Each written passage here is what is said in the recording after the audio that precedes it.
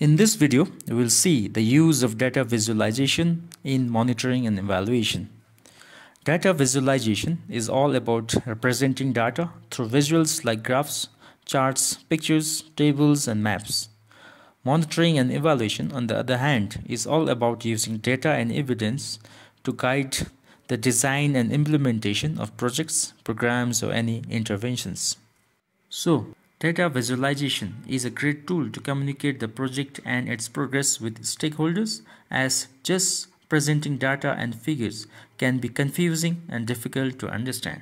But knowing exactly which visualization to use is very important. The choice of visualization is often dependent on the type of data which we want to visualize and we know that data can be either qualitative or quantitative. Dashboards, on the other hand, contains multiple visualizations and are important to tell the story of the project or programs.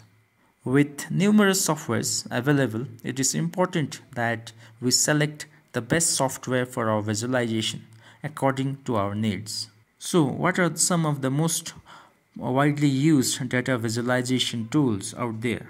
Here I have listed a few of the most widely used data visualization tool which I have used personally. Number one, Tableau.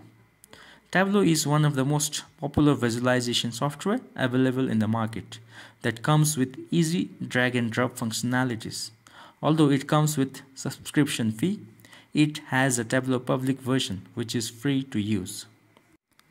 Number 2, Power BI. Power BI is a great software from Microsoft for analysis and visualization of data Power BI Desktop is free to download and use, but Power BI Pro comes with subscription fee, which has advanced functionalities. But for beginners, I suggest we can download the free version of Power BI Desktop and start using it. Number 3. Flourish. Flourish is another visualization tool which also has free version with limited functionalities. Unlike other software, it can be operated from the web browser and it offers some distinct visualization not available in other software. Number 4.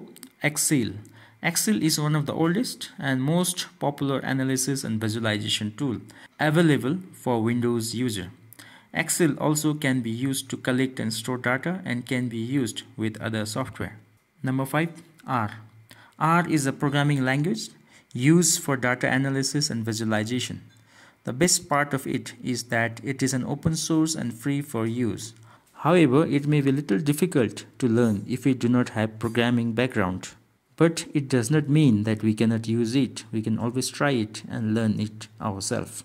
If we deal with lot of health data, then DHIS2 is another great tool for us to use for visualizing our data.